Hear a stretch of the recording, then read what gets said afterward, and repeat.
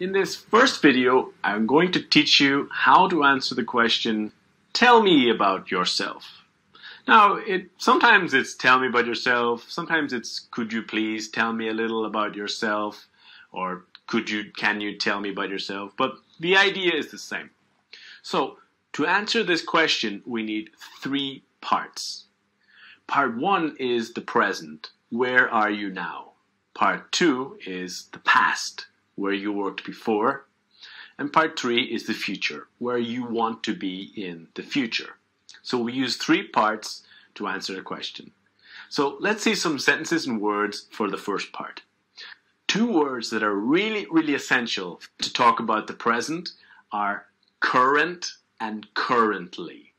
Current is an adjective and currently is an adverb, but they talk about now, what's happening at the moment actually does not mean now. Actually means in fact or in reality. So if you say, I'm working actually in a company, doesn't make sense because we use the word currently. This expression, for example, I'm currently working as. Now, after the word as, to work as, we have to work as and the profession. I'm working as a waiter. I'm working as a cleaner. Here, it's not correct to say I'm working like a waiter. It's not the same idea. It's to work as, okay? The next idea is I'm currently working at. So to work at and the place. I'm working at a clothes shop, right? It's not correct to say I'm working on a clothes shop close shop, like on means you are working on top of the building. It's not correct. You're working at the place. Got it? Another expression is at my current job, I. At my current job, I'm working as a profession, or I'm working as a production engineer, I'm working as a manager. At my current job, I'm working as, right? Another expression is at the moment, I. Now, a lot of students have a little confusion, you know, in this moment or in moment or of moment, but the correct expression is at the moment. So at the moment, I am looking for a job or I am looking for work. Now, a job is a specific position, a specific place. I'm looking for a job. I'm looking for work is more in general. I, I, just need work. I need money to live. I'm looking for work. Not important which position, right? You can say I'm searching a job. It doesn't make so much sense. The word search is more about Google and Google search. Or I'm looking a job. Mm-mm. It needs to be to look for a job. And this is, of course, in case you're not already working. When we talk about the past, Simple expression. Before that, I worked. Now, listen to the pronunciation. I worked. Because the verb is to work. And in the present, I work. We make it to the past. We put ed. I worked. It's not ed. It's not worked. It's the sound of t. I worked. I worked. So this could be your first answer in the in the interview and not work at, but I worked.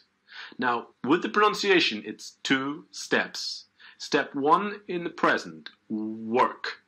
Step two, add the T, worked, worked, okay? Before that, I worked as in the profession, or before that, I worked at in the place. I worked as a software developer, or I worked at IBM the company.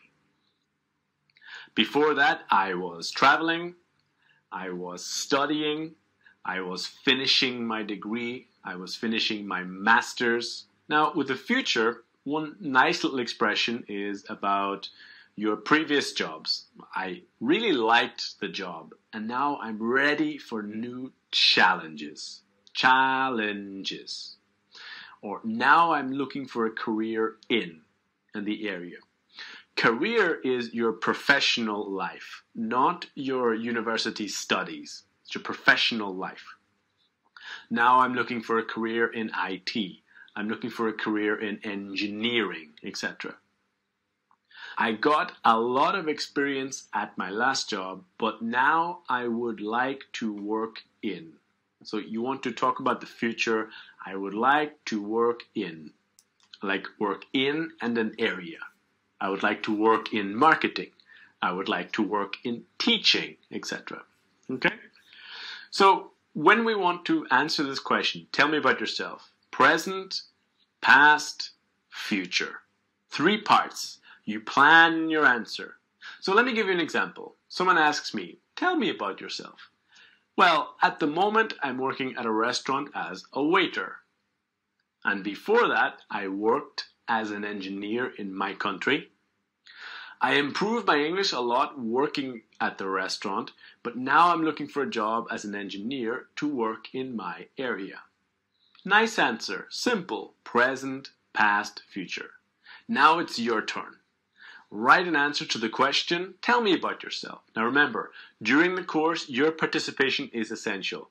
Write your answer and after practice your speaking alone before your interview. Okay? And I will see you guys in the next video to answer the question, what are your key strengths or key points? See you there.